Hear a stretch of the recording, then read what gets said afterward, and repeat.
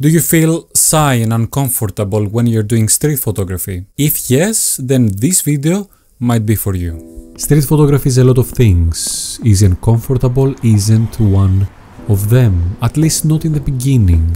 From taking a camera and going out to photograph people comfortably, there is a long road of inconvenience, stress and inner fighting.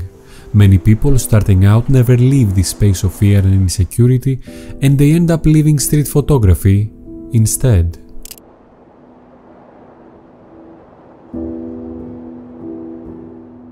If you are here watching this video, you are either in the beginning of your street photography career or you are someone that has persevered long enough but still you are not feeling comfortable doing street photography. For me, street photography has been my medicine against anxiety even in the hardest times of my life. So I want to help you feel comfortable doing the craft and experience the same feelings I am experiencing when I'm out in the streets photographing people and beautiful scenes. I have thought a lot about what makes us feel uncomfortable when we are out in the streets and I have reached one conclusion which I believe it is very similar for most of us. It is fear. It is the fear of having to interact with someone and this interaction may or may not lead to confrontation. It is very similar to asking someone out on a date before you do that, you're starting thinking, what if they say no? Or what if they get frustrated and they never talk to us again? Well, out in the streets, it's not so much the fear of losing a friendship as much as it is to lose your part in the anonymity offered by the uniformity of the masses.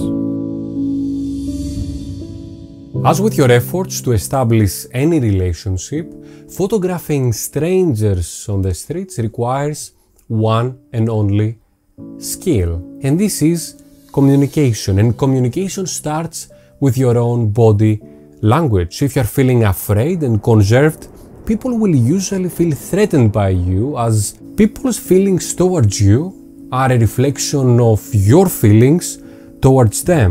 So you should be feeling or at least showing that you are comfortable and relaxed. I know it's not going to happen overnight, but it will happen over time. Communication extends to actually talking to them. This is something I'm not so good at, but I'm working on it as much as I can. You see, I believe that a photo of someone that you know, even for just a little bit, is a more meaningful photo. Of course, communication becomes vital when the person you are photographing out in the streets becomes displeased with the fact that you are photographing them. In this case, you have one and only solution. You need to sit down with them and have a discussion in a relaxed and rational fashion. Take a few minutes to talk to them about what you're doing, show them your Instagram, show them your website, and even better, if you have one, give them a professional card. I'm actually in the process right now to make one for myself. You never know, you might end up making a client from someone that you irritated briefly out on the streets. What would really help in this situation is to have a specific purpose. Back in the day, I used to go around different cities and photograph just what I found beautiful. I still do that from time to time, however, now I am focusing on my specific projects. If you have a goal for your photography and if you have a body of work to follow it, then it is easier to explain what you are doing to someone who is trying to confront you. And this might actually make them willing to help you in being part to what you're creating. Always have an answer ready because this shows that you are someone who is serious about your work and not just a random person who is taking a photo on the streets.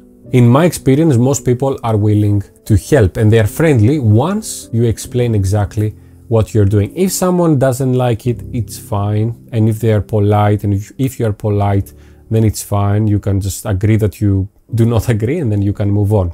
Now, in the very rare occasion that someone becomes aggressive, then there is only one solution. Just walk away. There is absolutely no way that you can reason with a person like that. And it has happened to me before once, and this is exactly what I did. Also, a form of communication is the like button uh, because it communicates to me that you like this video, so I make more like this, and at the same time, it communicates to the algorithm that this video is a good one, so it can push it into bigger audiences. Of course, communication is one thing. Even if you are conserved and you are not sure about communicating, there are other practical ways that can set the groundworks for you to become more confident and more relaxed out in the streets. A good behavior to have if you are enjoying this video is to hit the subscribe button down below with the bell if you haven't done already. Although it sounds counterintuitive, I'm starting my photo walks with having my camera in the bag. I realized early on that if you are suffering from some sort of social anxiety, walking around with a massive camera in your hands can only make things worse. So I will just walk around and observe, really look at what is going on. I'm calling this phase the charging up phase because I'm charging up my creativity banks. Once I have seen a lot of scenes and a lot of photos that I would desire to capture, then taking out my camera and starting shooting becomes much more natural. A charged up desire is powerful enough to help you overcome any fear. And I often find myself starting photographing in busier areas because in such places it is harder to stand out by using a camera. Also, it is very hard for someone to associate you with taking a photo of them if there are dozens of people around. However, this is a bit tricky, it raises a problem, and the problem is that because the scene is so busy, it is hard to find and isolate subjects and certain scenes and get a clean composition in the end. So what, am I, what I am doing in this case is using a longer focal length like an 85mm lens or a 50mm lens on a cropped sensor and a shallow depth of field that helps me to isolate subject and get those cleaner compositions. In any case, speed is key. If you take too much time trying to frame a composition, then you are more likely to draw attention. If you take a snap in two seconds and then move on quickly, then the chances of you actually getting noticed are very, very small. Surprisingly, the exact opposite can work too. Find a nice scene, a nice spot that can work on its own, and wait until someone passes through your frame. Start shooting before they enter the frame and keep shooting after they have left. This way, everyone will think that you are just photographing this nice scene in front of you and not them.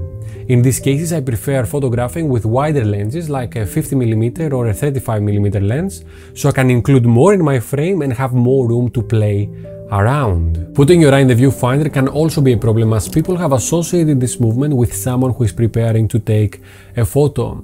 So use the back screen of your camera instead or take a hip shot, which is exactly that. Take a photo from the hip. This way you are not going to raise any concerns and people will probably not realize that you are actually taking a photo. And these are some of the practical things you can do to avoid confrontation on the streets. However, the type of images you make can also do exactly that. You don't need to take portraits, street portraits, that reveals people's characteristics if you don't want to. I know that many people feel the peer pressure from the gatekeepers to go straight up to people's faces and take those shots, but to be honest with you, I don't find this appealing at all. You can take perfectly good photos by keeping your subjects anonymous. You can photograph them from the back or you can keep them tiny in your frame. This is actually great advice from a compositional point of view to give a sense of scale to your images, especially when you're contradicting a huge building with a tiny human. Let me bring as an example this photo I took in London with a tiny biker contrasting the huge size of both the building behind of him, but also the huge window reflections on the street.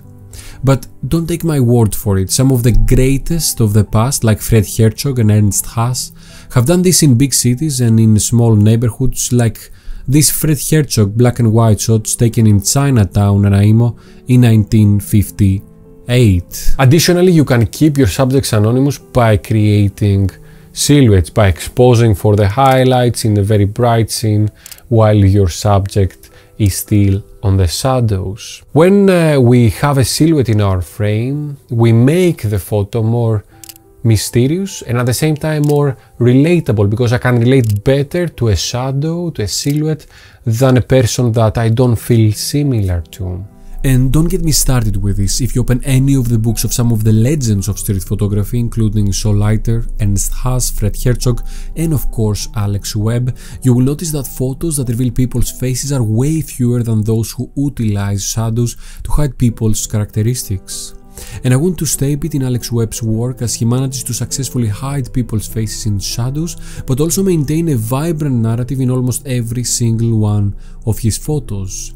We will have a deeper analysis on his work in a later video, so subscribe to the channel if you want to see that. We've discussed this in previous videos, but you can photograph only parts of people's bodies and leave their heads hidden. This technique utilizes the curiosity gap to add a mystery and storytelling to your images. A bright example of this is Saul Leiter. He has tons of famous examples using this technique, but I want to briefly talk about a shot that is included in his new book, The Unseen Saul Leiter.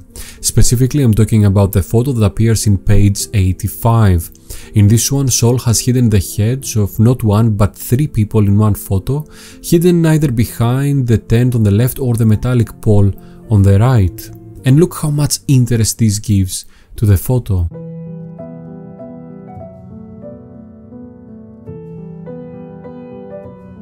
And I couldn't ignore a style of street photography that I'm actually doing a lot recently. Empty spaces and empty streets are also parts of the street, so they're also parts of street photography. So photograph those empty places, photograph those items on the streets, photograph those buildings, those darker alleys, those, those darker scenes, because they usually hold more stories than a busy place does. Use colors, use shapes, use features of the streets to grab the attention of the viewer and make them ask, what is going on here? Now more than ever we need to remember what silence and stillness looks like. A brilliant book I strongly recommend that is a great example of this type of photography is Todd Hido's Intimate Distance, in which you will find moments of silence taken mostly in empty places in the absence of people. So if this sounds interesting to you, take the inspiration and use these empty places and empty spaces as your canvas to create art.